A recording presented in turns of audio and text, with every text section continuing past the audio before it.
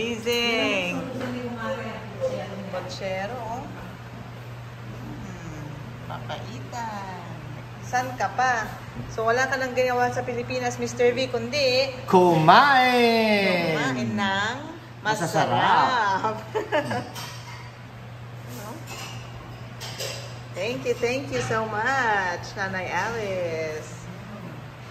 Sarap, oh. Mm. Yummy! Kain na!